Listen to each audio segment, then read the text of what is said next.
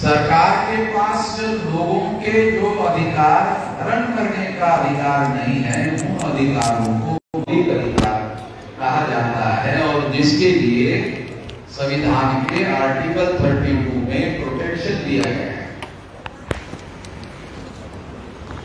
संरक्षण दिया गया है। जो दो ढाई हज़ार साल तक हमारे लोगों के पास अधिकार नहीं थे, वो अधिकार बहाल किए गए।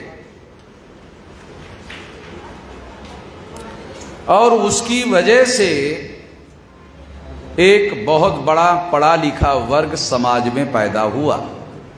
शेड्यूल कास्ट में, शेड्यूल ट्राइब में, बैकवर्ड क्लास में, माइनॉरिटी में ये जो पढ़े लिखे लोग निर्माण हुए, बड़ी संख्या में सारे देश भर में निर्माण हुए, लगभग दो करोड़ नौकरियाँ है। Central government, state government, local self government autonomous bodies ऐसे बहुत सारे डिपार्टमेंट है, भारत सरकार के, राज्य सरकार के एटोनॉमस बॉडीज के लोकल सेल्फ गवर्नमेंट के। तो इसमें दो करोड़ नौकरियाँ है। अगर हम 50 परसेंट नौकरियों की बात करें तो इसमें एक करोड़ नौकरियाँ S C S T OBC minority के लोगों को मिलना चाहिए। वो नहीं मिली हुई है, इसके बावजूद भी 25-30 लाख लोग जो हैं, हमें सारे देश भर में दिखाई देते हैं। तो ये सारा का सारा 1848 से लेकर 1956 तक जो हमारे महापुरुषों के द्वारा संघर्ष चला, उसके बदौलत हमारे पढ़े लिखे लोगों को अधिकार मिला। इसलिए जिन लोगों को, जिन पढ़े लिखे लोगों को यह अधिकार मिला, उन लोगों की ज़िम्मेदारी बनती है कि वो लोग जिन महापुरुषों की बदौलत अच्छा जीवन यापन, जीवन जी रहे हैं, मान सम्मान का जीवन जी रहे हैं, ये उन लोगों की ज़िम्मेदारी बनती है कि वो अपने पीछे रहे हुए जो समाज है, गाँव देहात में रहे हुए समाज के जो लोग हैं उनको उसी तरह का मान सम्मान का जीवन जीने के लिए उपलब्ध कराने का संघर्ष करे। ये अपेक्षा हमारे महापुरुषों की थी। बाबा साहब आम्बेडकर की भी पढ़े लिखे लोगों से यह अपेक्षा थी कि जो पढ़ा लिखा वर्ग उनके आंदोलन के बदौलत निर्माण हुआ, उन लोगों से यह उम्मीद थी उनकी कि वो पढ़ा लिखा वर्ग हमारा जो आंदोलन है, इस आंदोलन को आगे बढ़ाने का काम करे। क्योंकि आंदोलन चलाने के लिए पाँच बड़े साधनों की ज़रूरत होती है। बुद्धि सबसे ज़्यादा ज़रूरी चीज़ है बुद्धि, क्योंकि बुद्धि के बल पर फैसले लिए जाते हैं। जिन लोगों को फैसले, सही फैसले लेना आता है, वही लोग नेतृत्व कर सकते हैं, वही लोग आंदोलन को आगे बढ़ा सकते हैं। तो पहले नंबर का साधन है बुद्धि, दूसरे नंबर का साधन है पैसा। कुछ लोगों को यह बात समझ में नहीं आएगी, कुछ लोग ऐसा सोचते होंगे कि नहीं, पैसा पहले नंबर का साधन होना चाहिए। पहले नंबर का साधन पैसा नहीं है। पहले नंबर का साधन बुद्धि है। अगर बुद्धि हमारे पास है तो हम नेतृत्व करने लायक बन सकते हैं। यदि हम नेतृत्व करने लायक बन सकते हैं तो आंदोलन के लिए पैसा खड़ा करने लायक बन सकते हैं। जो बुद्धिजीवी आदमी है, जो नौकरी करने वाला आदमी है, अगर वो संगठन में आ गया, संगठित क्षेत्र में आ गया तो वो अपने घर में खूटी को कपड़े टांग कर तो नहीं आएगा, कपड़े पहन कर आएगा तो कपड़े में पैकेट भी होगा, पैकेट में पैसा भी होगा तो पैसा भी आएगा।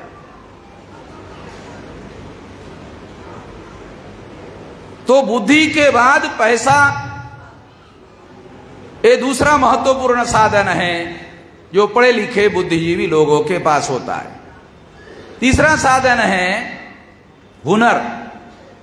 जैसे मैं यहाँ माइक पर बोल रहा हूँ तो यहाँ हर आदमी को अगर यह कहा जाए कि आओ, पाँच मिनट बोलो तो बोलने के लिए उनको दिक्कत होगी। हर आदमी को बोलना नहीं आएगा तो बोलने का हुनर है। क्या बोलना चाहिए, और ज़्यादा बड़ा हुनर है। क्यों बोलना चाहिए, ये और ज़्यादा बड़ा हुनर है। तो तीसरा जो साधन है, बड़ा साधन है, वो हुनर है। और चौथा साधन है समय। अगर आपके पास, आपके परिवार के लिए समय है और आंदोलन के लिए समय नहीं है तो फिर आंदोलन कैसे चलेगा? आंदोलन के लिए भी समय होना चाहिए। केवल आदमी अपने परिवार में ही सारा का सारा समय लगा दे। आंदोलन और संगठन खड़ा करने का काम ना करे और उसके परिवार पर कोई संकट आ जाए, अत्याचार हो जाए तो उसकी मदद करने के लिए संगठन का है? वो अकेला क्या कर लेगा अगर उसके ऊपर अत्याचार हुआ? संगठन चाहिए। वो संगठन निर्माण करने के लिए समय की ज़रूरत है। ये चौथा साधन हो गया। पांचवा साधन है श्रम, मेहनत, परिश्रम। अगर हमारा बच्चा बीमार हो गया तो हम कभी ऐसा कहते, बाजू वाला, जो हमारा, जो नेबर है, उसको हम कहते कि, भाई साहब, ये मेरा बेटा बीमार हो गया है, उसको जरा हॉस्पिटल में ले जाओ तो।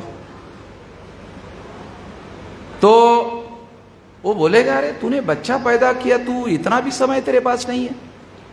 या इतनी भी मेहनत नहीं करना चाहता कि तू अपने बच्चों को हॉस्पिटल में ले जाए?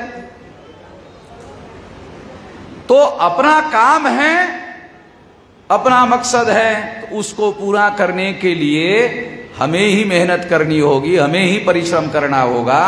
कोई दूसरा हमारा काम करने वाला नहीं है, हमें करना हो तो ये पाँच बड़े साधन हैं।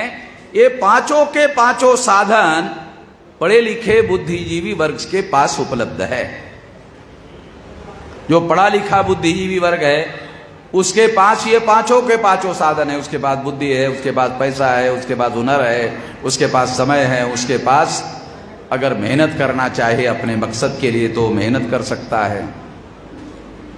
तो ये पाँचों साधन उसके पास है। इसलिए बाबा साहब आम्बेडकर ये अपेक्षा करते थे कि ये पढ़ा लिखा बुद्धिजीवी जो वर्ग है, वो इस आंदोलन को आगे बढ़ाने का काम करे। जब उन्होंने देखा कि ये केवल अपने बाल बच्चे और बीवी के बीच में ही, अपने परिवार में ही लगा हुआ है और अपने आंदोलन को आगे बढ़ाने का काम नहीं कर रहा है, इस वजह से दुखी होकर बाबा साहब आम्बेडकर को ऐसा कहना पड़ा कि मुझे पढ़े लिखे लोगों ने धोखा दिया। ये बात है। तो इसका उपाय क्या है? इसका उपाय है पढ़े लिखे बुद्धिजीवी वर्ग के लोगों को जो अपेक्षा बाबा साहब आम्बेडकर की थी कि वो आंदोलन के लिए बुद्धि, पैसा, हुनर, समय, श्रम दे, ये देने का काम करे, ये उपाय अगर ये काम वो करना शुरू कर दे तो फिर ये माना जा सकता है कि वो बाबा साहब आम्बेडकर को अपेक्षित कार्य कर रहा है। अगर वो व्यक्ति साल में एक बार चौदह अप्रैल को बाबा साहब आम्बेडकर का जन्मदिन मनाने का काम करे और ये कहे कि मैं तो बाबा साहब आम्बेडकर का जो उपकार है, उस उपकार की उतराई कर रहा हूँ। तीन दिन में एक दिन काम कर रहा है 364 डेज़ में वो काम नहीं कर रहा है तो कोई आंदोलन निर्माण नहीं होगा। आपको जो संविधान ने अधिकार दिए, उस अधिकार को संविधान में लिखे हुए जो अधिकार है, वो अधिकार संविधान आपके घर में लाकर देने वाला नहीं है। संविधान में लिखा है। मगर वो लिखा हुआ अधिकार आपके घर में संविधान लाकर देने वाला नहीं है। वो अधिकार लेने के लिए आपके पास संगठित शक्ति चाहिए, आपके पास आंदोलन चाहिए। वो आंदोलन आपको अधिकार दिलवा सकता है। संविधान में केवल लिखे होने से आपको अधिकार मिलने वाला नहीं है, वो लेने होंगे। और उसको लेने के लिए संगठित शक्ति का निर्माण करना होगा, आंदोलन का निर्माण करना होगा। ये काम हमको करना होगा। ये ध्यान हम लोगों को रखना होगा। अपने आप संवैधानिक अधिकार हम लोगों को मिलने वाले नहीं। हम लोगों को यह काम करना होगा। दूसरी बात जो दूसरा विषय रखा गया है, वो दूसरा विषय है जाति जागृति। अंतिमता ब्राह्मणवाद का भक्ष बनेगी। बाबा साहब अंबेडकर ने कानूनी रूप से, संवैधानिक रूप से चार बड़े शेड्यूल तैयार किए। और उसको संवैधानिक मान्यता है। ये हमारे बहुत सारे लोगों को जानकारी नहीं है, वो मैं बात आपको बता रहा हूँ। ये संवैधानिक मान्यता है। फॉर एग्ज़ाम्पल भारत में जितनी अछूत जातियाँ हैं, उनकी संख्या 1703 है। ये भी मुझे नहीं लगता कि ये पढ़े लिखे लोगों को पता होगा।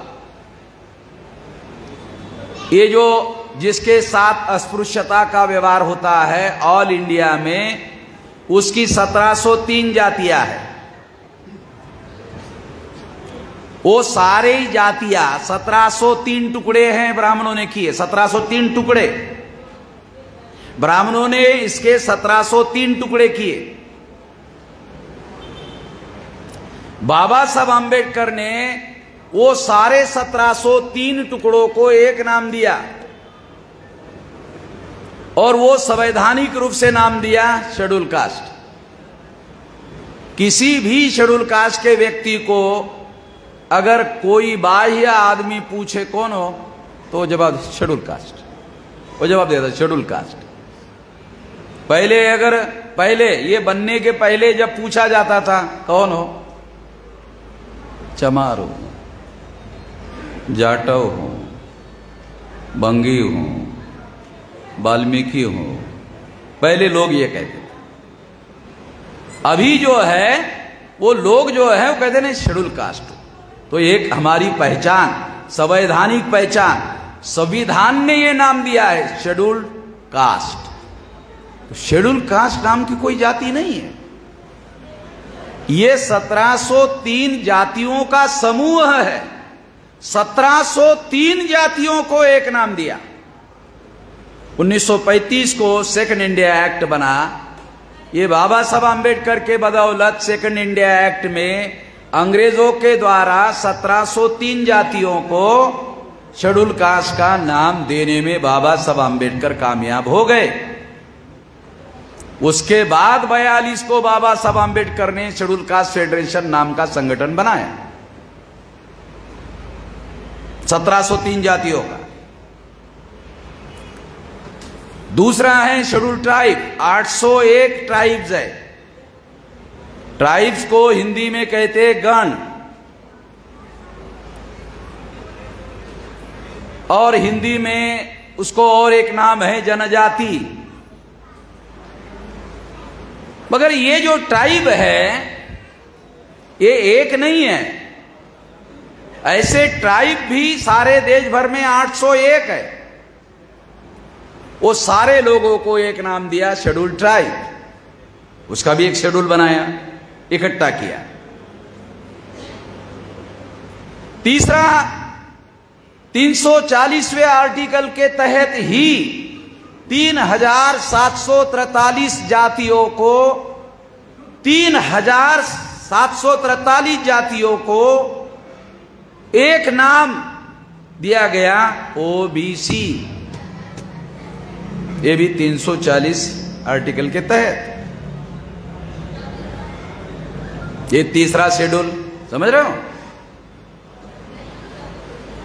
और चौथा शेड्यूल है माइनॉरिटीज ब्राह्मण की संख्या साढ़े तीन परसेंट है, मगर ब्राह्मण को माइनॉरिटीज के तौर पर मान्यता नहीं है।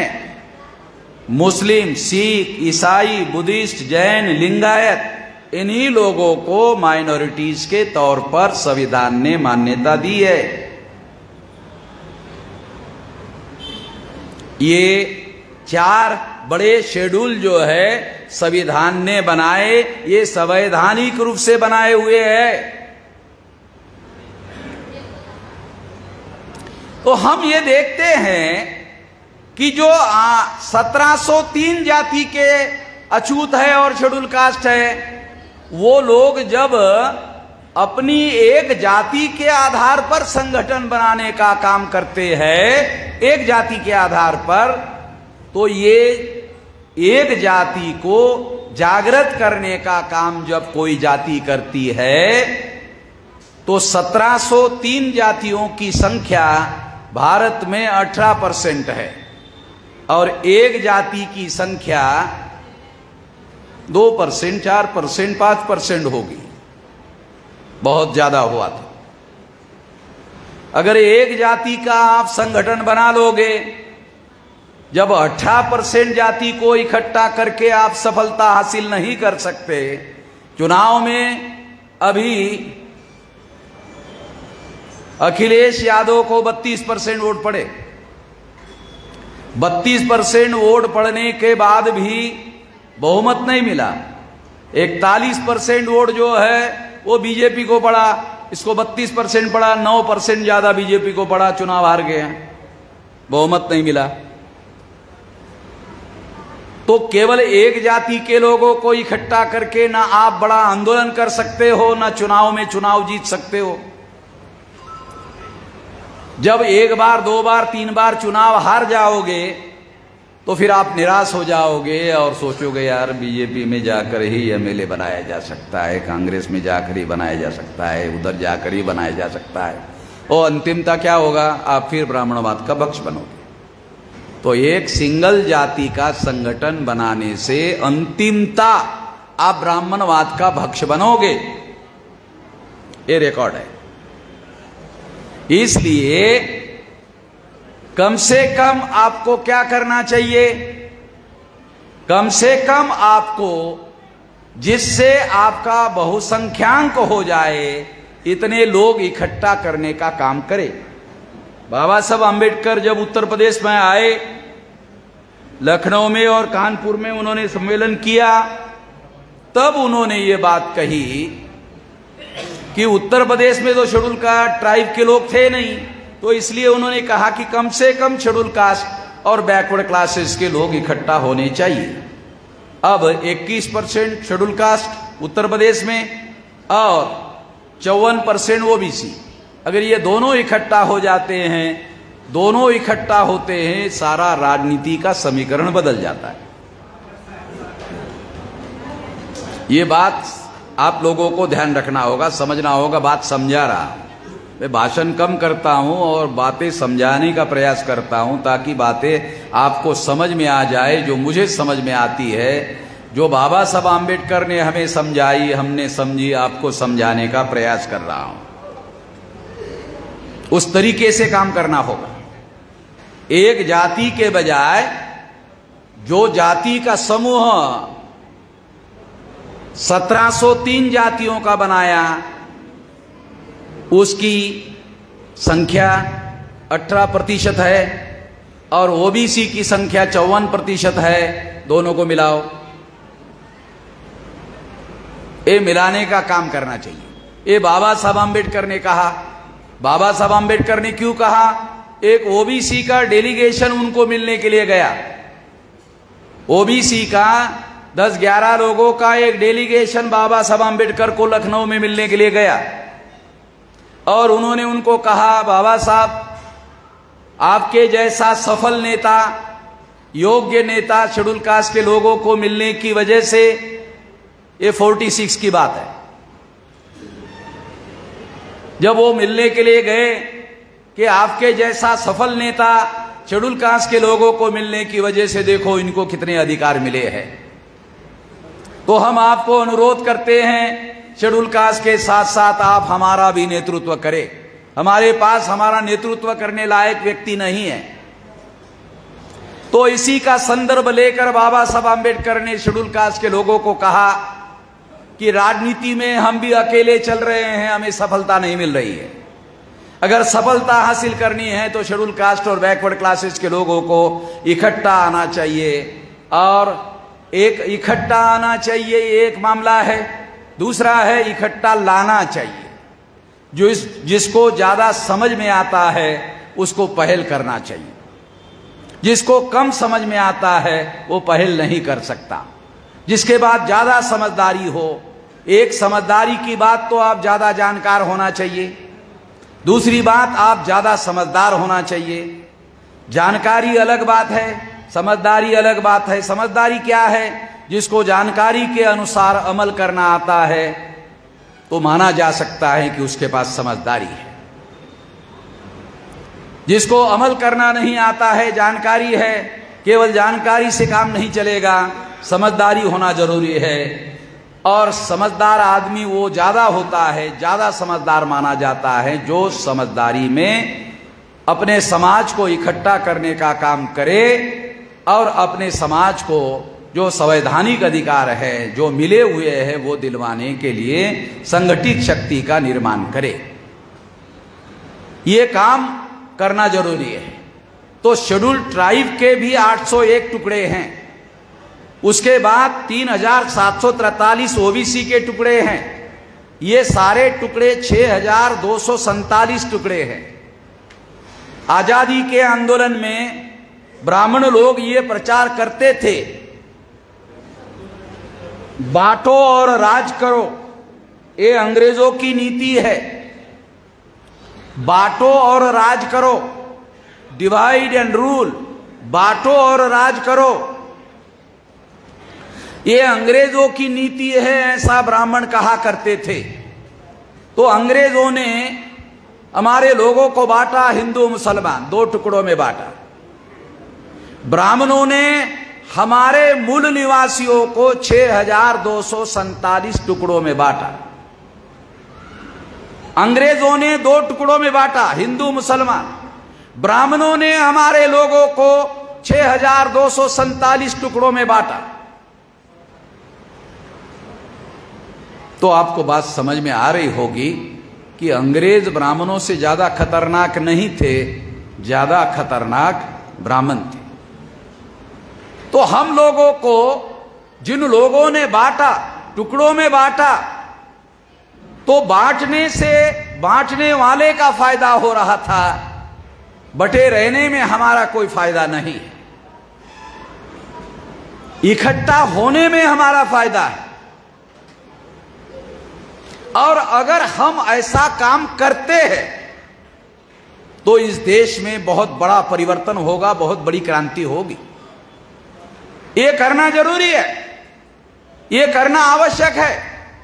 अगर हम ऐसा नहीं करते हैं और केवल अपने जाति को जागृत करने का काम करते हैं, आज हमारे पास बामसेव के द्वारा, भारत मुक्ति मोर्चा के द्वारा, बहुजन क्रांति मोर्चा के द्वारा, जो सारे देश भर में प्रयास किया गया, मैं 18 साल तीन चार महीने का रहा होगा, तब मैं नौकरी में लगा। 18 साल तीन चार महीने का था। जब मैं डिपार्टमेंट में नौकरी के लिए गया तो वहाँ वी एन पाटिल नाम का एक व्यक्ति था। तो सुपरवाइजर ने कहा, ये वी एन पाटिल है, ये छह महीने का आपको ट्रेनिंग देंगे। क्योंकि मैं छह महीने का मुझे ट्रेनिंग लेना था सेंट्रल गवर्नमेंट का। तो वो वी एन पाटिल क्या करता था, शाम के छह बजे तक मुझे सरकारी कामकाज का ट्रेनिंग देता था। छह बजे के बाद बामसेप के मीटिंग को लेके जाता था, क्योंकि वो दो दो ट्रेनिंग देता था। सरकार सुपरवाइजर ने उसको कहा है, इसको आप सरकार काम का ट्रेनिंग दे दो। तो वो मुझे दो दो ट्रेनिंग देता था। एक ट्रेनिंग तो वो देता था सरकारी कामकाज का, दूसरा ट्रेनिंग देता था बामसेब के मीटिंग में, वो मेरा सुपरवाइजर था ट्रेनर था। तो मैं टाल नहीं सकता था। तो मैं धीरे धीरे अठारह साल तीन चार महीने के बाद बामसेब के मीटिंगों में जाना शुरू हुआ। और जब मुझे ये बात समझ में आई कौन सी बात समझ में आई कि अकेले दम पर हम समाज का बहुत बड़ा काम नहीं कर सकते तो मैं संगठित रूप से काम करना शुरू किया। तो आज मेरी उम्र 65 रनिंग है। तो 46 के लगभग साल हो गए। इतने समय से मैं काम कर रहा हूँ और इतने समय से काम करने के आधार पर आज हम लोग ये कह सकते हैं कि शेड्यूल कास्ट के, शेड्यूल ट्राइब के, अदर बैकवर्ड क्लास के और माइनॉरिटी के कम से कम 2400 से ज़्यादा टुकड़े जोड़ने में हम लोग कामयाब हुए। 2400 से ज़्यादा। आप लोग सुनकर हैरान हो जाओगे कि आज 31 राज्यों में 567 जिलों में 4000 से ज़्यादा तहसीलों में 22000 से ज़्यादा ब्लॉक में और डेढ़ लाख से ज़्यादा गाँवों में, भौगोलिक क्षेत्र में हमारा संगठन हमने फैलाया हुआ है। इतने बड़े पैमाने पर। 2000 में खबरडे साहब का देहांत हो गया और मेरे ऊपर ज़िम्मेदारी आई।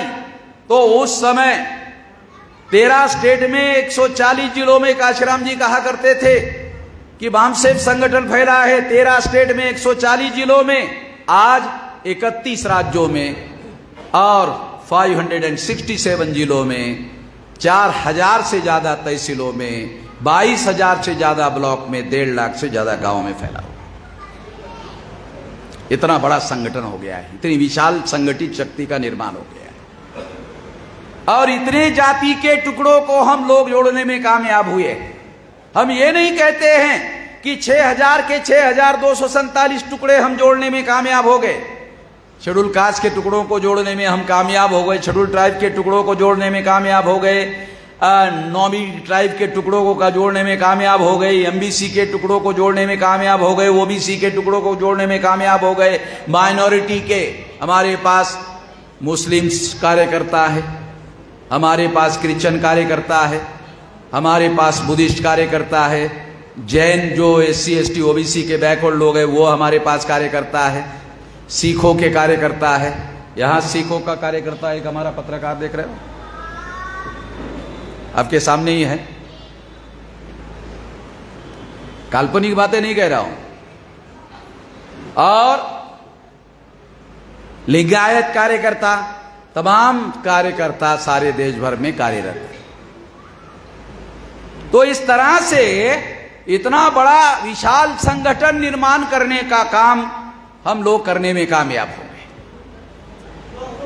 तो मैं ये बात इसलिए आप लोगों को बता रहा हूँ, या समझा रहा हूँ।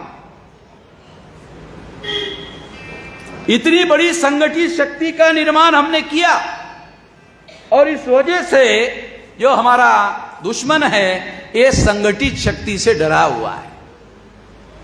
इतनी बड़ी संगठित शक्ति हो गई है। शायद कोई भी संगठन हमारे मुकाबले में S C S T OBC, minority में कोई भी संगठन इतना बड़ा भारत में नहीं है।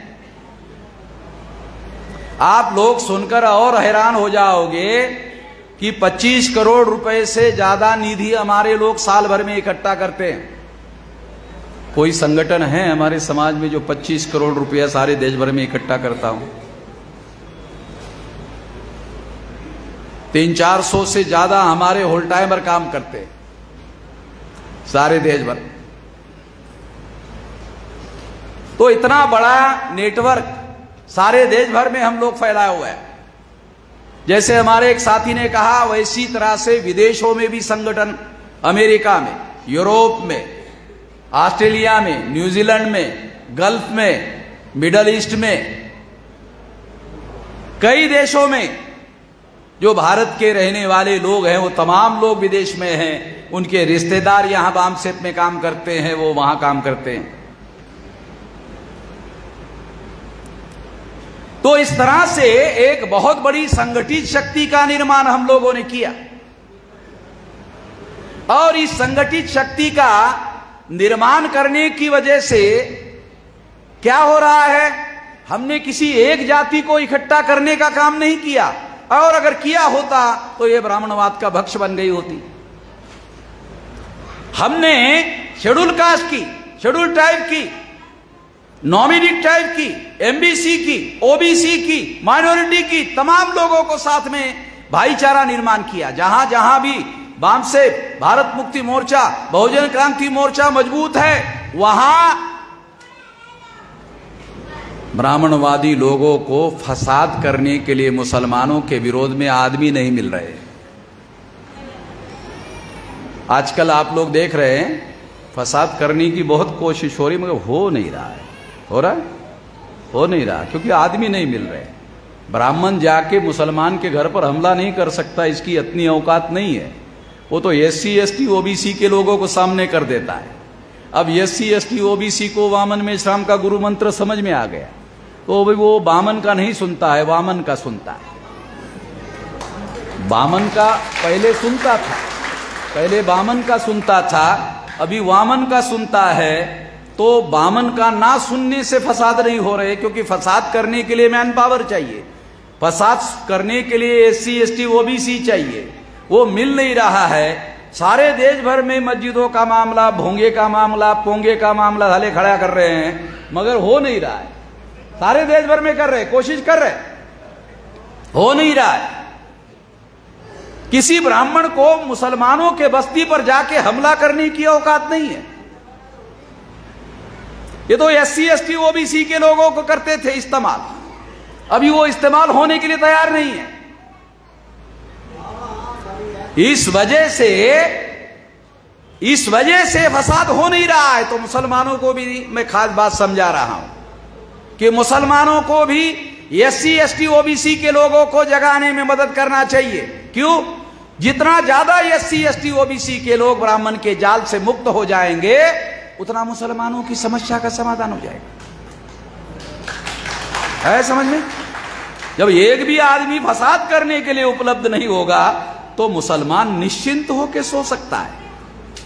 अगर मुसलमान S C S T OBC को जगाने के लिए मेहनत करेगा, कोशिश करेगा तो फसाद करने के लिए आदमी ही नहीं मिलेगा तो मुसलमान निश्चिंत सो सकता है। नहीं तो रात में मुसलमानों को सोने के लिए बहुत बड़ी समस्या होती है, कि पता नहीं चला रात में क्या होगा। मैं आपको इलाज बता रहा हूँ, बीमारी आपको मालूम है। मैं इलाज बता रहा हूँ। इलाज बहुत ज़्यादा ज़रूरी होता है।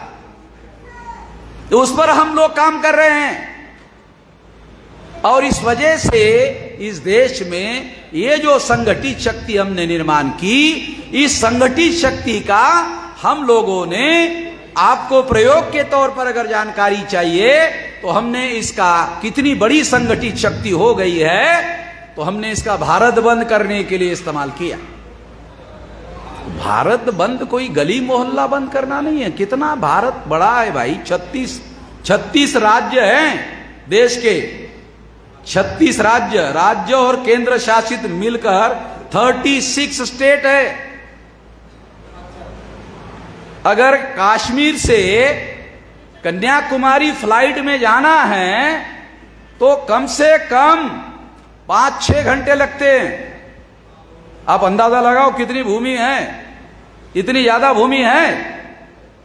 और इस वजह से मैं आपको बता रहा हूँ छोटा मोटा देश नहीं है, और इस वजह से जब हम भारत बंद करते हैं तो आपको बताता हूँ, उदाहरण के लिए बताता हूँ, पाँच मार्च 2019 को हमने तेरह पॉइंट रोस्टर के विरोध में भारत बंद किया 200 पॉइंट रोस्टर लागू करने के लिए। ये रिजर्वेशन का मामला था। इस वजह से मुसलमान इसमें शामिल नहीं हुए। केवल S C S T OBC के लोग शामिल हो गए। तो ये रोस्टर का मामला हल हो गया और नरेंद्र मोदी को पार्लियामेंट में कानून पास करना पड़ा। आप जानते हो नरेंद्र मोदी कितना अकड़ू आदमी है, है? नरेंद्र मोदी कितना अकड़ू आदमी है? किसानों की तीनों कानून पीछे ले लिया मगर एक भी किसानों से बात नहीं की। इतना अकड़ू आदमी है। कानून पीछे ले लिया मगर बात नहीं की किसानों से। इतना अकड़ू आदमी है।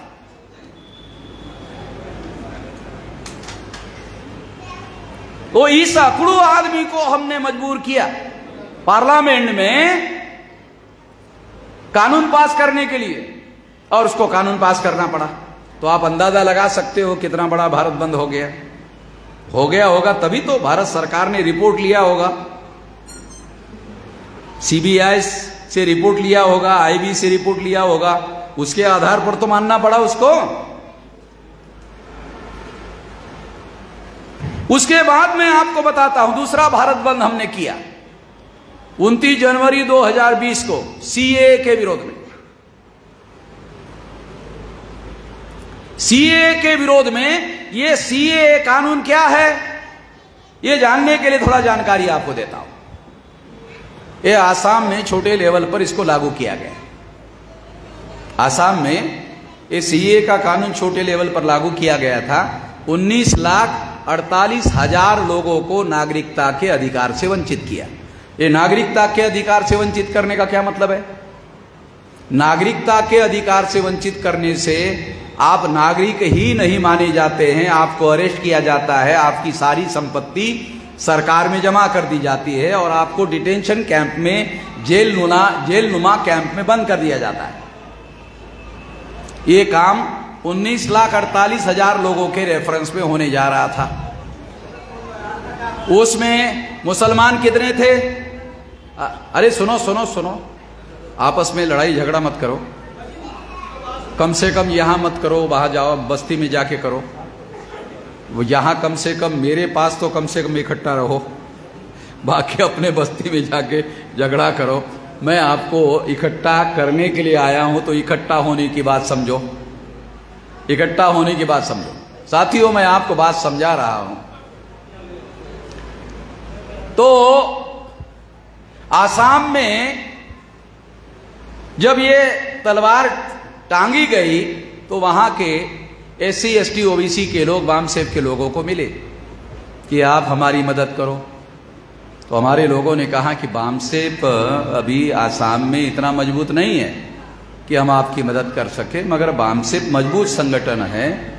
एक आदमी आपकी मदद कर सकता है, वो है वामन बेचराम कहा, कहाँ मिलेगा? का दिल्ली में। तो उन्होंने कहा कि, दिल्ली में है तो हमने ज़िंदगी में नहीं देखा। तो हमारे लोगों ने उनको लेकर आया दिल्ली। मेरी मुलाकात करवाई। मैंने उनको कहा, आसाम की राजधानी गुवाहाटी में लोगों को इकट्ठा करो। तो लोगों को उन्होंने बड़ी संख्या में इकट्ठा किया, जो प्रताड़ित लोग थे।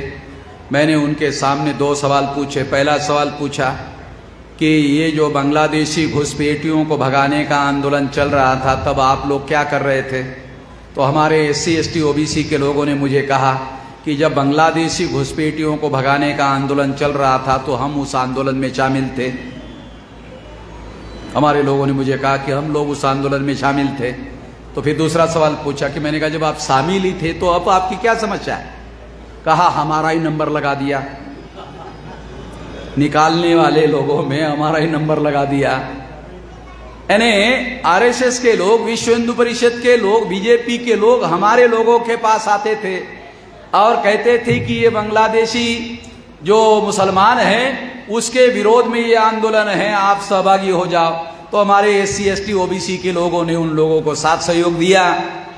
और जब ये कानून लागू करने का समय आया तो 19 लाख अड़तालीस हज़ार में पाँच लाख मुसलमानों को निकाला 14 लाख अड़तालीस हज़ार S C S T OBC को निकाला।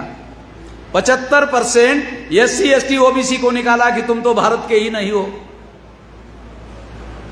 जिन ब्राह्मणों का डीएनए विदेशी है, उन लोगों ने S C S T OBC को ही निकालने का मामला शुरू कर दिया। आसाम में। जब मैंने देखा कि ये तो सारा मामला बहुत ही क्रिटिकल है, मैंने कहा, ये तुम लोगों के बस की बात नहीं है।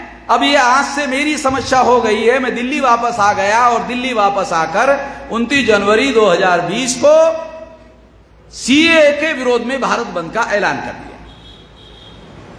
तो मुसलमानों को लगा आप लोगों को जानकारी होगी कि मुसलमानों ने दिल्ली में शाहीन बाग आंदोलन शुरू करवाया था। शाहीन बाग आंदोलन का नाम मालूम है? वो इलाके का नाम है शाहीन बाग। वहाँ मुसलमान रहते थे। तो आंदोलन का नाम ही पड़ा शाहीन बाग आंदोलन। अब हमारे महाराष्ट्र में शाहीन बाग नहीं है, मगर आंदोलन शाहीन बाग ही चल रहा है। सारे देश भर में शाहीन बाग आंदोलन। अब यह शाहीन बाग आंदोलन को पब्लिसिटी भी अखबार वाले बड़े पैमाने पर दे रहे थे कि ये मुसलमानों का आंदोलन है। और इस कानून की, कानून से मुसलमानों को निकाला जाएगा। इसके पीछे बीजेपी, आरएसएस की एक साजिश थी कि एस सी ओबीसी के लोगों को मुसलमानों के विरोध में भड़काया जाए। मगर जब हमने सारे देश भर में लोगों को बताना शुरू कर दिया कि इस कानून की वजह से पाँच लाख लोगों को आसाम में निकाला गया और चौदह लाख अड़तालीस हज़ार S C S T OBC को निकाला गया। जब हमने सारे देश भर में लोगों को बताना शुरू कर दिया, तब लोगों को समझ में आया, अरे, ये तो मामला मुसलमानों का नहीं है। अगर है भी तो ये दूसरे नंबर का है। पहले नंबर का मामला तो S C, S, T OBC का है। दूसरे नंबर का मामला मुसलमानों का है। जब हमने S C, S, T OBC के द्वारा भारत बंद का ऐलान किया तो मुसलमानों को लगा कि सीए का कानून तो पार्लियामेंट ने पास किया। अब ये कानून सारे देश भर में लागू होगा और सारे देश भर में मुसलमानों को निकाला जाएगा। इसलिए 29 जनवरी 2020 के आंदोलन में मुसलमान भी बहुत बड़ी संख्या में शामिल हो गए। 5 मार्च 2000 5 मार्च 2019 को मुसलमान शामिल नहीं थे, मगर 29 जनवरी 2020 को मुसलमान बहुत बड़ी संख्या में शामिल हो गए। जब मुसलमान बहुत बड़ी संख्या में शामिल हो गए तो पहले से भी ज़्यादा बड़ा भारत बंद हो गया। जब पहले से भी ज़्यादा बड़ा भारत बंद हो गया, मैं आप लोगों को एकता की बात समझा रहा हूँ कि एकता से क्या हो सकता है, वो बात समझा रहा एक एक जाति समूह को लेकर के काम चलने वाला नहीं है, वो समझा रहा।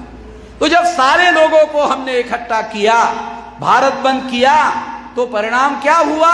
वो पहले से ज़्यादा भारत बंद हो गया। जब पहले से ज़्यादा भारत बंद हो गया तो इसके दो बड़े परिणाम हुए। सीए का कानून जिस आरएसएस बीजेपी और विश्व हिंदू परिषद के पहल से बनाया गया था। वो कानून अभी तक लागू नहीं हो पाया। कितने लोगों को पता है? चलो दो तीन लोगों को पता है दो चार पाँच, दस लोगों को पता है, चलो, अच्छी बात है। वो हमारे लोगों के द्वारा ही बताया गया और उन्होंने सुना होगा तो मालूम हो गया होगा, बाकी किसी को पता है नहीं। नरेंद्र मोदी ने जो सीए का कानून पास किया, वो जब हमने 29 जनवरी 2020 को भारत बंद किया, उसके बाद से वो कानून कचरा कुंडी में पड़ा हुआ है।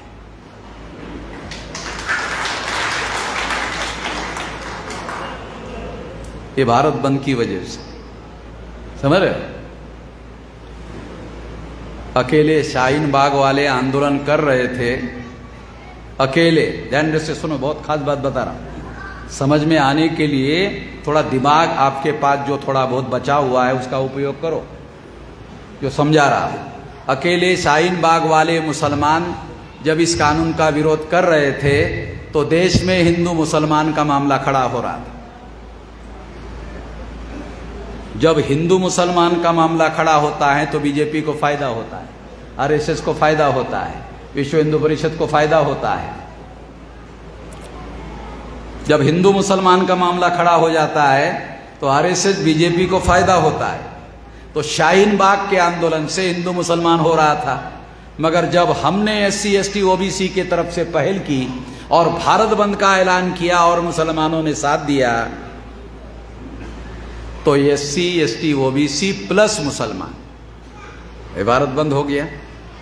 जब भारत बंद हो गया तो शाहीन बाग वाले आंदोलन ने जो कानून का हश्र करना चाहिए था, वो नहीं हुआ। जब हमने भारत बंद किया तो वो कानून कचरा कुंडी में जाके पड़ा। शाहीन बाग से तो उनको फ़ायदा हो रहा था, क्योंकि वो केवल मुसलमानों का आंदोलन था और मुसलमानों के आंदोलन से हिंदू मुसलमान मामला बन रहा था, आरएसएस को फ़ायदा हो रहा था। मगर जब S C S T OBC के लोगों ने पहल करके भारत बंद किया और मुसलमानों ने समर्थन दे दिया तो S C S T OBC एक तरफ़ और दूसरी तरफ़ मुसलमान सारे इकट्ठा आ गए। इसका परिणाम यह हुआ सीए का कानून अभी भी कचरा कुंडी में पड़ा हुआ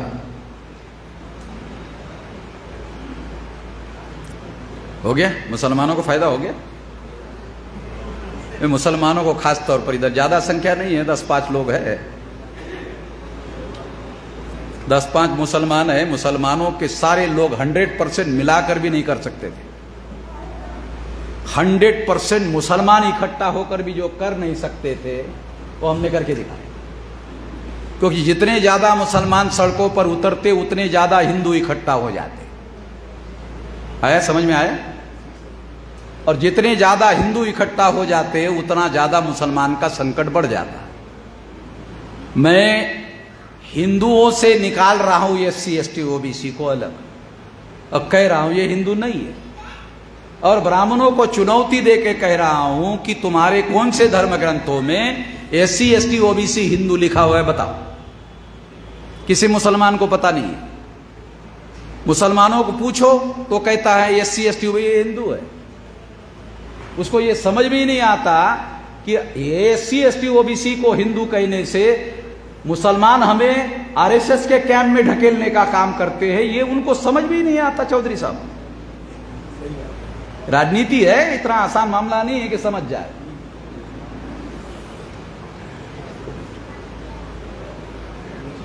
S C S T OBC के लोग जितने हिंदू बनेंगे, उतना संकट मुसलमानों का बढ़ेगा। S C S T OBC के लोग S C S T OBC जितने ज़्यादा हो जाएँगे, उतना मुसलमानों का संकट बढ़, खत्म हो जाएगा। S C S T OBC term जो है सामाजिक है, और हिंदू जो टर्म है वो धार्मिक है। जब S C S T OBC के लोगों को मुसलमान हिंदू के अकाउंट में जमा करते तो हिंदू का अकाउंट ब्राह्मणों का अकाउंट है। तो ब्राह्मणों के अकाउंट में हम, आप लोग हमें क्यों जमा करते संविधान ने हमें शेड्यूल कास्ट के नाम पर अधिकार दिया, शेड्यूल ट्राइब के नाम पर अधिकार दिया, ओबीसी के नाम पर अधिकार दिया। जब आप S C S T OBC खत्म करके हिंदू बनाओगे, साले हमारे अधिकार खत्म हो जाएँगे। जब हम हिंदू बनते हैं तो अधिकार खत्म होते हैं। S C S T OBC